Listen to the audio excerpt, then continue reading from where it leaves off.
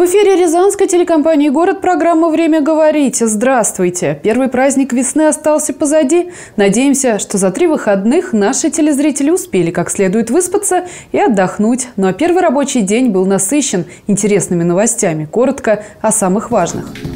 И все же первым делом самолеты наша съемочная группа побывала на Дягилевском аэродроме. Автополицейские в выходные дни усилили контроль за дорожной обстановкой. Большой хоккей. В Рязани стартовало первенство в ЦФО по хоккею среди юниоров.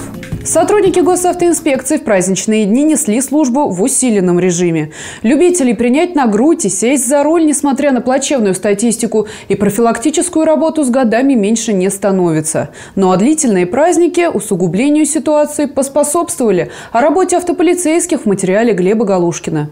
Дорожные полицейские, как и обещали накануне длинных выходных, особенно пристальное внимание уделяли нетрезвым автомобилистам. К сожалению, добрый весенний праздник в честь Международного женского дня некоторые автомобилисты встречали весьма бурно, и после торжественного застолья обратно домой они решали возвращаться отнюдь не на общественном транспорте или такси, а на своем личном авто. Причем принимали такое опасное для здоровья и жизни других участников дорожного движения решение, в том числе и представительницы прекрасного пола. А, так, 8 марта в час 20 э, ночи э, на улице Островского был остановлен автомобиль Иш-Ода под управлением 21-летней жительницы э, Ухоловского района. По всем признакам девушка находилась в состоянии алкогольного опьянения. Для проведения освидетельствования состояния алкогольного опьянения э, она была доставлена на Михайловский пост, э, где после проведения освидетельствования прибор показал 0,73 мг на литр выдыхаемого воздуха. Всего по итогам прошедших выходных право управления автомобилем лишились 130 горе водителей. И еще дорожные полицейские продолжили борьбу с наглухо затонированными стеклами автомобилей. На территории города Рязани проходило профилактическое мероприятие, э, направленное на выявление водителей, управляющих э, транспортными средствами, светопропускаемость э, передних боковых лобового стекла, которых не соответствует техническому регламенту, регламенту одобски транспортных средств э, к эксплуатации. Так, в ходе проведения данного мероприятия было выявлено 37 нарушений правил дорожного движения. В общем, как показывают прошедшие рейдовые мероприятия дорожных инспекторов, несмотря на денежные штрафы, нарушители все равно находятся. Еще один сюжет, предоставленный сотрудниками силовых ведомств. Полицейские раскрыли серию квартирных краж. В полицию обратилась 20-летняя рязанка, которая сообщила, что прямо из ее квартиры пропала сумка с деньгами и банковскими картами. Оперативники уголовного розыска опросили соседей пострадавшей и выяснили, что в этот день в подъезд заходила некая незнакомка – Вскоре, благодаря помощи неравнодушных граждан, была задержана 27-летняя жительница Рязанского района, которая, собственно, и подозревается в совершении кражи. Что украл? Кошелек, сумку взяла. А откуда взяла? По городу Рязани. Улица, не знаю, как называется. Ну ты прямо из квартиры взяла или как? Да, из квартиры. Ну заходила? Да. Понятно. А как заходил? Что вообще? Как? Ну, просто открыла дверь, дверь открыта была. Смотрю, лежит, взяла и ушла. В ходе расследования выяснилось, что злоумышленница заходила в подъезды многоквартирных домов и проверяла двери, поворачивала ручки одну за другой, выискивая незапертое жилище. Если дверь открывалась, то злоумышленница тихо входила и пыталась похитить сумочку и другие ценности, лежащие в прихожей. По предварительной информации, задержанная подозревается в серии подобных хищений. На данный момент времени в отношении данной гражданки избрана мера пресечения в виде заключения под стражу, проводится расследование.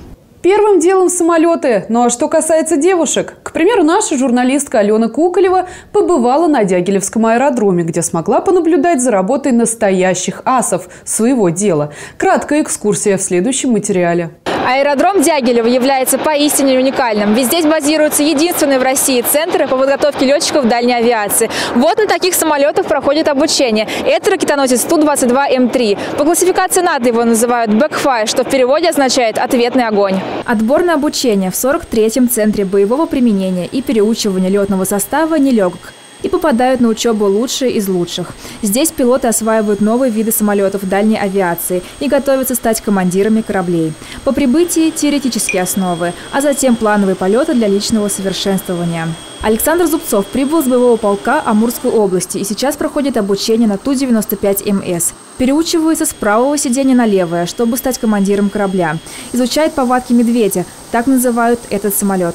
Нас отобрали э, также мы в Рязань приезжали, отобрали э, как бы лучших.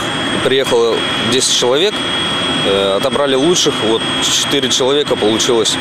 Э, приехали сюда на командиров кораблей.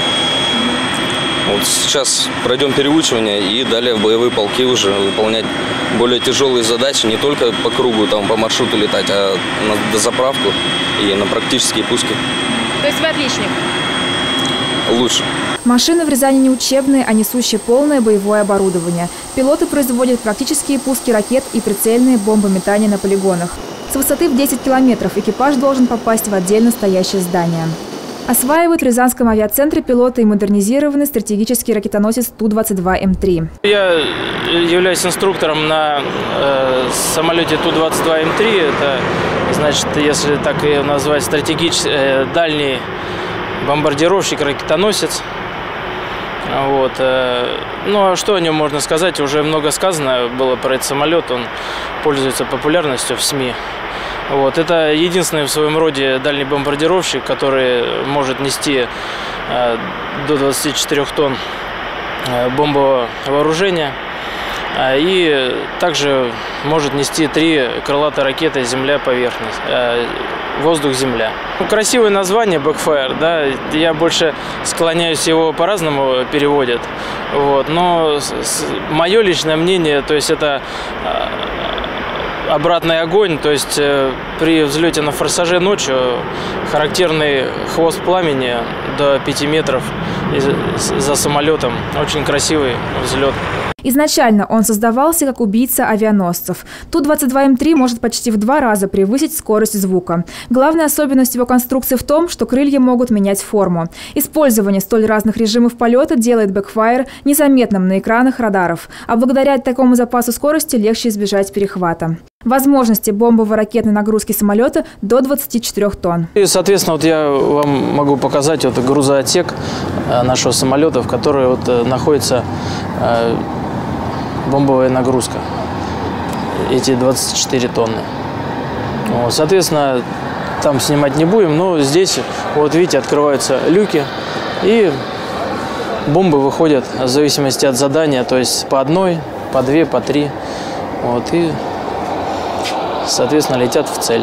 Сброс бомб и дозаправка топливом в полете – лишь некоторые элементы, которые должен выполнить будущий командир корабля. Вместе с модернизацией парка самолетов дальней авиации меняется и программа обучения. Всего же за время существования центра здесь прошли подготовку более 400 тысяч летных специалистов по различным категориям. Что ж, пожелаем нашим летчикам чистого неба над головой и летной погоды. Кстати, о погоде. Уж что-что, а она продолжает радовать горожан. Весенние деньки теплые и солнечные пришли неожиданно, раньше обычного срока. Ждать ли похолодание или же можно смело убирать пуховики и шапки на антресоле, расскажет Наталья Новикова. Настоящее весеннее тепло пришло в наш регион. Аномально теплая погода, установившаяся в центре России, повсеместно удерживает температурный режим на 7-9 градусов выше климатической нормы. 9 марта в Рязани воздух прогрелся до 6,8 градуса. Тем самым оказался установлен новый рекорд, превысив прошлогодний на 0,7 градуса. В ближайшие дни территория нашей области останется во власти очень теплого воздуха. Ожидается малооблачная и сухая погода. 11 Э, марта под влиянием гребня антициклона осадков не ожидается.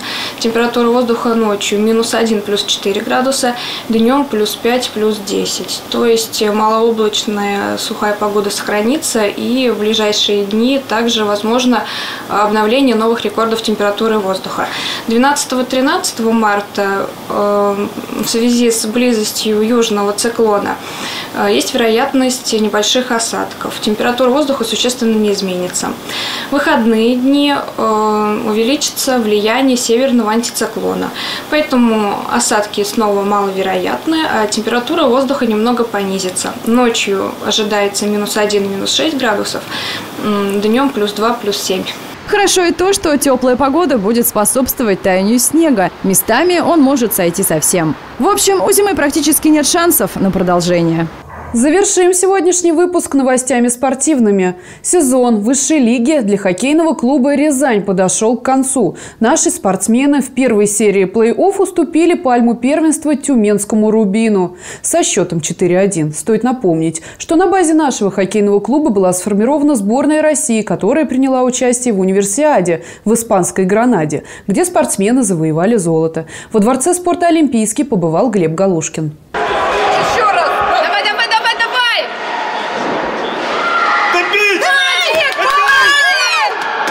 Борьбу за места на пьедестале почета в турнире на призы клуба «Золотая шайба» начали семь команд хоккеистов средней возрастной группы. Ребята проведут на этой неделе круговой турнир, и по регламенту каждая команда по матчу сыграет друг с другом. Сегодня прошли первые матчи. Сборная Рязанской области довольно молодая, и, по словам тренеров, пока явно чувствуется нехватка соревновательного опыта. Просто нет такой игровой практики у них, чтобы вот так выйти, обыграть всех. Такие первые серьезные соревнования для них, чтобы так играть. Тут просто уровень повыше получается, и они волнуются, и не все получается у ребят. Ну, пытаемся в тройку попасть. Вроде шанс все есть, а там уже посмотрим. Турнир «Золотая шайба» имеет давнюю историю. Уже более полувека проходят эти хоккейные детские соревнования. В советское время со стороны взрослых клубов и спортивных функционеров этому турниру уделялось большое значение. У ребят была реальная возможность заявить о себе и попасть в состав молодежной либо юношеской команды мастеров. Так, например, свою карьеру «Золотой шайбы» начинали именитые впоследствии хоккеисты. Среди них Владислав Третьяк, Александр Мальцев, Владимир Мышкин, Владимир Крутов, Вячеслав Фетисов. Ну, у нас уже традиция, мы неоднократно уже здесь проводим не только зональные соревнования, но и финальные соревнования э, на призы клуба «Золотая шайба». У нас уже как бы традиция сложилась, у нас ежегодно проводятся эти соревнования. В день у нас проходит по 5 игр. Соревнования будут э, проходить с 10 по 15 марта. Э, победители и первое место и второе место будут представлены в финале в городе Казани.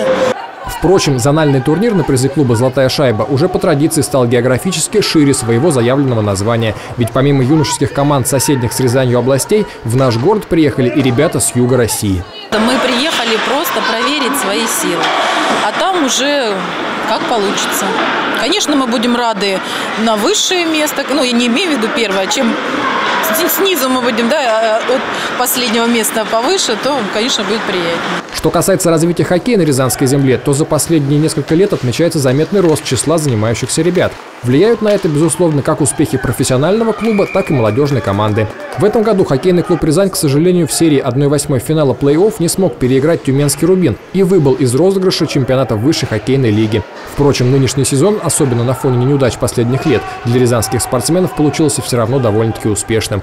Высокое шестое место по итогам регулярного чемпионата, выход в плей-офф и участие большого числа хоккеистов в универсиаде. Ведь именно на базе хоккейного клуба «Рязань» была собрана университетская сборная России, где главным тренером стал главный тренер рязанской команды Вячеслав Уваев. И выступление на универсиаде в испанской Гранаде получилось триумфальным – первое место. Причем наши спортсмены поочередно и довольно уверенно переигрывали сверстников из других стран, включая канадцев, с которыми столкнулись в полуфинале. А что касается молодежной хоккейной команды, то Рязанская «Молния» завершила сезон на победной ноте и десятом месте розыгрыша первенства молодежной хоккейной лиги «Б». Несмотря на то, что молодежка не сумела попасть в розыгрыш плей-офф, но этот третий сезон в конференции «Запад» получился удачнее всех предыдущих. Десятое место из 17 команд – пока лучшее достижение в истории клуба.